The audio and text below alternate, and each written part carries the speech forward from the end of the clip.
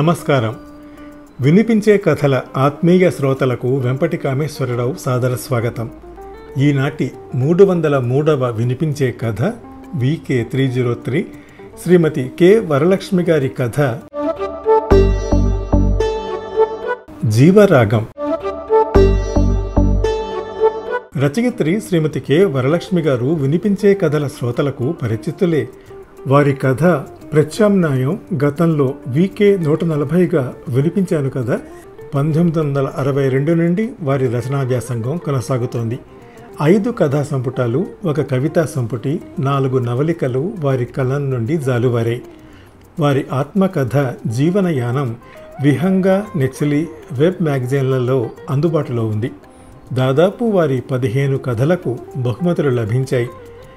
చాసో స్ఫూర్తి బిఎన్ రాములు విమలా శాంతి సహృదయ హసన్ ఫాతిమా సుశీల నారాయణరెడ్డి అమృతలత అపురూప తెలుగు యూనివర్సిటీ ధర్మనిధి పెద్దిభొట్ల సాహిత్య స్ఫూర్తి అజో విభో కందాళం విశిష్ట సాహితీమూర్తి జీవితకాల సాధన శిఖామణి సాహితీ పురస్కారాలను వారు అందుకున్నారు వారి కథ పంతొమ్మిది వందల తొంభై నవంబర్ నాలుగు ఆదివారం ఆంధ్రజ్యోతిలో ప్రచురితమైంది.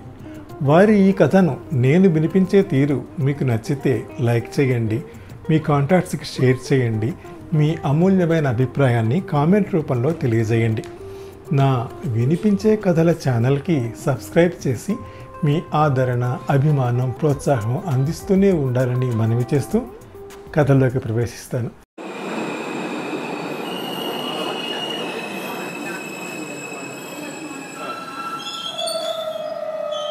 ఏమైందో తెలీదు. చాలాసేపటి నుంచి ట్రైన్ ఆగిపోయింది. చదువుతున్న నవల్ని విసుగ్గా పక్కన పెట్టి కిటికీలోంచి బయటికి చూశాను. దూరపు కొండలు నునుపుదేరి కనిపిస్తున్నాయి. ఆతృత పట్టలేని కొందరు ట్రైన్ దిగి అటూ ఇటూ తిరుగుతున్నారు. బోరుగా అనిపించి ఏమి తోచక పర్సు తెరిచి చూశాను. ఈ ప్రయాణానికి కారణమైన ఆ ఉత్తరం మళ్ళీ చేతికి తగిలింది.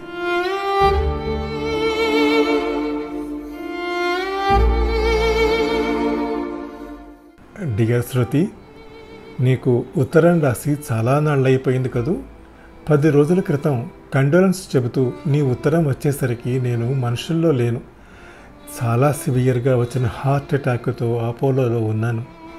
నిన్న ఇంటికి వస్తూనే నా టేబుల్ మీద ఉన్న నీ ఉత్తరం చూడగానే ఏ ఆధారం లేకుండా నదిలో కొట్టుకుపోతున్న వాడికి పడవ అంచు దొరికినంత రిలీఫ్ ఫీల్ అయ్యాను ఎప్పుడు లేనిది మూర్తి ఇలా ఎందుకు రాస్తున్నాడా అనుకుంటున్నావు కదూ? నలభై దాటిన ఈ మిడిల్ ఏజ్ ఎంత చెడ్డదో నాకు ఇప్పుడిప్పుడే అర్థమవుతోంది. చాలా విషయాలు సమస్యలుగా మారిపోయి బాధిస్తున్నాయి. ఎవరితోనైనా చెప్పుకోవాలంటే ఆత్మాభిమానం అభిజాత్యం అడ్డొస్తాయి. భార్యకు కూడా చెప్పలేని కొన్ని విషయాలు నా గుండెని పిండేస్తున్నాయి. బరువెక్కిపోయిన హృదయాన్ని తేలికపరుచుకోవటానికే నీకు ఈ ఉత్తరం. శృతి ఈ సారోఫుల్ మూడ్లో ఎమోషన్తో రాసిస్తున్నాను అనుకోకే. నా చిన్ననాటి నేస్తానివి నా బలహీనతలతో సహా నన్ను అర్థం చేసుకున్నదానివి నువ్వు తప్ప నాకు దగ్గర వాళ్ళు ఎవరూ లేరు. చివరికి క్లబ్లో కూడా నా పోలీస్ ఆఫీసర్ వేషానికి స్నేహితులు ఉన్నారు తప్ప నా కోసం లేరు. నా వాళ్ళంతా నా ఖాకీ బట్టల కరుకుతనాన్ని చూస్తారు కానీ నా హృదయపు ఆర్ద్రతని అవలోకించరు. నిజానికి నిజానికి నీకు ఉత్తరం రాయడానికి ఎంత ఉపోద్ఘాతం అవసరం లేదు కానీ ఈ వయసులో బావురమని ఏడ్ చేయాలనిపిస్తున్న నన్ను పిచ్చివాడు అనుకుంటావేమోనని ఇదంతా రాస్తున్నాను.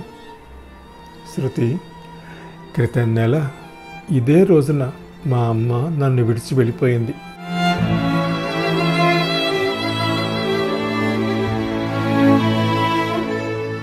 నన్ను పెంచడానికి చదివించడానికి ఆమె ఎంత కష్టపడిందో నీకు తెలుసు. నన్ను కన్న మరుసటి రోజే భూమి తగాదాల్లో భర్తని భూమిని పోగొట్టుకుని ఈ లోకంతో ఒంటరి పోరాటం చేసింది. ఒక్కగా ఒక బిడ్డనని నాకేలోటు కలగకూడదని ఆమె రక్తాన్ని నీరుగా మార్చి చెమటోడ్చింది. అలాంటి అలాంటి అమ్మను నేనేం చేశాను? వార్ధక్యంలో ఆ పల్లెలో ఒంటరిగా వదిలేశాను. కోటేశ్వరుడి కూతుర్ని చేసుకుని డబ్బుతో పాటు నా స్టేటస్ని పెంచుకుందాను అనుకుందానే తప్ప నా కన్న తల్లికి అన్యాయం చేసి నేను వీళ్ళకి శాశ్వతమైన బానిసగా మారిపోయాను అనుకోలేదు. మా పాలరాతి భవనంలో ఆమె ఒక దిష్టిబొమ్మలా ఉంటుందని భయపడ్డానే తప్ప ఆమె పాల మనసుని విషపు చుక్కలా విరిచేశానని గ్రహించలేకపోయాను. ఏడాదికి ఒక్కసారి వెళ్ళినా నన్ను చూడగానే ఆమె కళ్ళల్లో వెలిగే కోటి దీపాల కాంతితో నా అహాన్ని పెంచుకున్నాను తప్ప ఆమె పట్ల ఆత్మీయతను పెంచుకోలేకపోయాను శృతి. ఎవరి విలువైన వాళ్ళు అందుబాటులో ఉంటే తెలియదు. ఇక మీద ఆ కోటి దీపాల కాంతి ఎవరి కళ్ళల్లో చూడను? ఈ భూమి మీద నేను మొదటి శ్వాస తీసుకునేటప్పుడు నా నోట్లో పాలు పోసిన నా తల్లికి ఆఖరి శ్వాస తీసుకునేటప్పుడు ఆమె నోట్లో తులసి నీళ్ళైనా పోయలేకపోయిన దౌర్భాగ్యుణ్ణి నేను.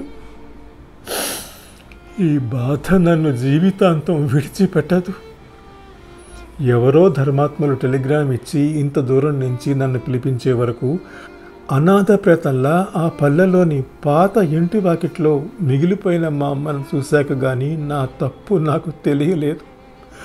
నా అంత దుర్మార్గుడు ఇంకెవడుంటాడు ఈ ఉత్తరం మీద పడి అక్షరాలను చెరిపేస్తున్న ఇవి కన్నీటి చుక్కలు కావు.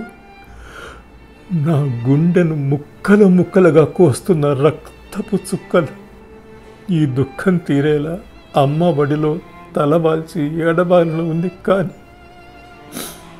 అమ్మ అమ్మ ఎక్కడుంది? అమ్మ తాలూకు సంస్కారాలన్నీ చేసి వచ్చి నాలుగు నాళ్ళైనా కాలేదు. ఆ మూడు నుంచి నేను ఇంకా కోలుకోనే లేదు. మా స్రవంతి తను ప్రేమించిన వాడిని రిజిస్ట్రార్ ఆఫీసులో పెళ్ళి చేసుకోబోతున్నానంటూ నా గుండెల్లో డైనమైట్ పేల్చింది. ఆ రోజే నాకు హార్ట్ అటాక్ వచ్చింది. వాళ్ళు అడిగిందల్లా ఇస్తూ అపురూపంగా పెంచిన ఈ పిల్లలు ఎందుకింత కఠినంగా ఉంటారో. నా ప్రమేయం ఏమీ లేకుండా అది తన పెళ్ళి తనే చేసేసుకోవాలనుకుంది. ఇదేమన్నా న్యాయమేనా? న్యాయాన్యాయాలు దానికెందుకులే? అది నా కూతురు కదా. ఇక రాసే ఓపిక లేదు. ఉంటాను మరి. నిజానికి నాకు చచ్చిపోవాలనిపిస్తోంది. నీ మిత్రుడు సత్యమూర్తి.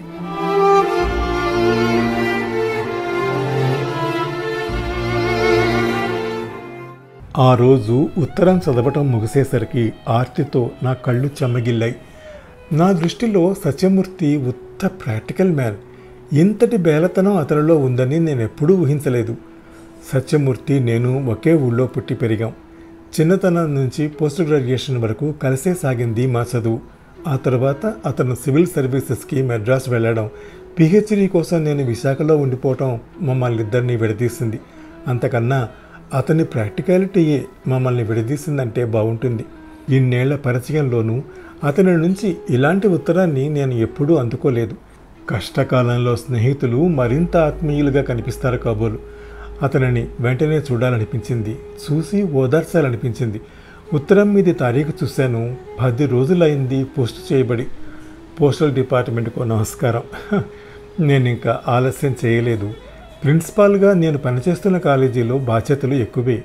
వాటన్నిటినీ ఒక వారం పాటు వైస్ ప్రిన్సిపాల్కి అప్పగించి టికెట్ రిజర్వ్ చేయించుకున్నాను. షాలిమాన్స్లో ఆఫీసర్గా ఉన్న మా అన్నయ్య పాణి నేను వాళ్ళ ఇంటికి వెళ్ళడం లేదని ఎప్పటి నుంచో నిష్ఠూరం పోతున్నాడు.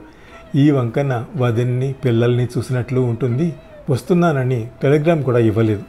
మూర్తి ఆరోగ్యం బాగోలేదు కదా. స్టేషన్కి రమ్మని అతన్ని ఎందుకు శ్రమ పెట్టాలి? మూర్తికి స్రవంతి తప్ప కొడుకులు కూడా లేరు. స్టేషన్ నుంచి డైరెక్ట్గా అన్నయ్య ఇంటికి వెళ్ళిపోయాను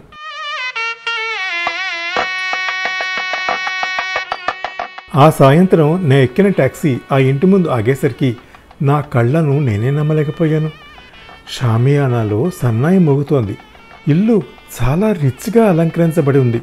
ఫ్లవర్ డెకరేషన్ తాలూకు పరిమళం గాలిలో నిండిపోయి ఆహ్లాదంగా ఉంది. సీరియల్ లైట్లతో దసరాకి అలంకరించిన మైసూరు ప్యాలెస్లా ఉంది ఆ ఇల్లు. వీధంతా నిండిపోయిన కార్లు పార్కింగ్ ప్లేస్ కోసం దిక్కులు చూస్తున్నాయి. వేరే అడ్రస్కి వచ్చానా అని నేను సంశయిస్తుండగా గేట్లోంచి గబగబా నడుచుకుంటూ వస్తున్నాడు మూర్తి. పొందూరు ఖద్దరు సిల్క్ పంచె కట్టుకుని పొడవు చేతులు లాల్చి పై మీద జరీ కండువాను సవరించుకుంటూ కారులోకి తొంగి చూసి వచ్చేసావా శృతి? టెలిగ్రామ్ ఇచ్చాను. అందుతుందో లేదో వస్తావో రావో అనుకుంటున్నాను. స్రవంతి పెళ్ళి ఇంటి దగ్గరే జరిపించేస్తున్నాను. దాని ఇష్టం ఎందుకు కదనాలి? ఏమంటావు? అంటూ నుదుటికి పట్టిన చెమటను అద్దుకున్నాడు అంతలో మా వెనుక వచ్చి ఆగిన మరో కారును రిసీవ్ చేసుకుంటూ శృతి నువ్వు లోపలికి పద. "ఆ, సరోజ లోపలే ఉంది అంటూ అటు నడిచాడు. మూర్తి భార్య సరోజ ఎదురొచ్చి నన్ను పలకరించింది. పెళ్ళి టైం కావడంతో నన్ను ఒక చోట కూర్చోబెట్టి హడావిడిగా వెళ్ళిపోయింది. ఎవరో తెచ్చిన కూల్ డ్రింక్ని సిప్ చేస్తూ కూర్చున్నాను. నా కళ్ళు మాత్రం మూర్తిని గమనిస్తున్నాయి. ఎక్కడ చూసినా తనే అయి మూర్తి ఒకటే హడావిడిగా తిరుగుతున్నాడు. పక్కపక్క నవ్వుతున్నాడు. మధ్య మధ్యలో సరోజ దగ్గరికి వెళ్ళి ఏదో సలహా అడుగుతున్నాడు.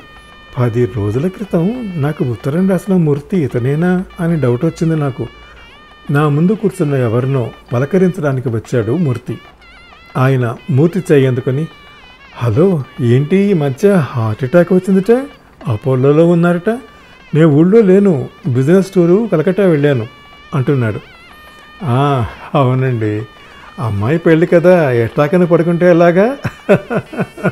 పెద్దగా నవ్వుతున్నాడు మూర్తి. పాపం ఈ మధ్యనే మీ అమ్మగారు పోయారట ఇంతలోనే ఈ పెళ్ళెలా పెట్టుకున్నారు? మూర్తి ముఖంలో నవ్వు చెరగలేదు. చూడండి రామారావు గారు పెద్దావిడ కాలం తిరిగిపోయింది వెళ్ళిపోయింది పుణ్యాత్మరాలు. గతించిపోయిన కాలం కోసం భవిష్యత్తును అప్పు కూర్చోం కదా అవునవును అంటున్నాడు ఆయన. నాకు అర్థమైంది. మూర్తి నాకు ఉత్తరం రాసేసరికి శ్మశాన వైరాగ్యం నుంచి బయటపడలేదు. ఇప్పుడు మళ్ళీ మామూలు మనిషి అతని కోసం పరిగెత్తుకొచ్చిన నా సెన్సిటివ్నెస్కి నాపై నాకే చెగా కనిపించింది. ఒక్క జర్కుతో ట్రైన్ కదిలి స్పీడ్ అందుకుంది. ఉత్తరాన్ని చింపి బయటికి విసిరేశాను.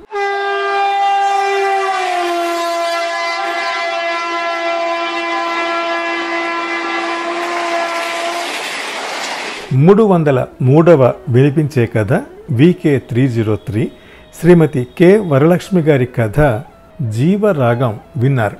ఈ కథను నేను వినిపించే తీరు మీకు నచ్చితే లైక్ చేయండి మీ కాంటాక్ట్స్కి షేర్ చేయండి మీ అమూల్యమైన అభిప్రాయాన్ని కామెంట్ రూపంలో నాకు తెలియజేయండి. నా వినిపించే కథల ఛానల్కి సబ్స్క్రైబ్ చేసి మీ ఆదరణ అభిమానం ప్రోత్సాహం అందించండి. తప్పక చేస్తారు కదా. నమస్తే.